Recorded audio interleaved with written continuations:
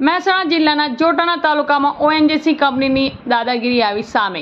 ખેડૂતોને જાણ કર્યા વિના ઓઇલ પાઇપલાઇન નાખી ગરીબ ખેડૂતોના પેટ પર લાત. પચાસથી સાઠ વીઘા જમીન ખોદી નાખી જીજેવનમાં આવેલી જમીનનું ખેડૂતને જાણ વગર કરી દીધું ખોદકામ. આવા લોકો સામે સરકાર ક્યારે એક્શન મોડમાં આવશે અને ખેડૂતોને ન્યાય આપશે. ખેડૂતોની ન્યાયની માગણી. ખેતીલાયક જમીનને દાદાગીરીથી ખેડૂતોના ખેતરમાં ખોદકામ કરી જમીનને બિન ખેતી લાયક કરી. જો આવી કંપનીઓ જમીનનો નાશ કરતી રહે તો આ ખેડૂત શું કરે? અને બીજી બાજુ, કમોસમી વરસાદના કારણે પાક બગડે. કોઈક વાર વાવાઝોડાથી પાકને નુકસાન થાય. અને બીજી બાજુ, આ ઓએનજીસી વાળા પણ આની કસર ના છોડે.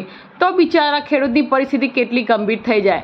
પછી થાકેલો ખેડૂત શું કરે? આ એક મોટો ચર્ચાનો વિષય. હવે જોવાનું એ રહ્યું કે આ ઓએનજીસી તંત્ર પર એક્શન લે છે? જોતા રહો. એચબીએન ટીવી ન્યૂઝ હર હંમેશ સત્યની સાથે.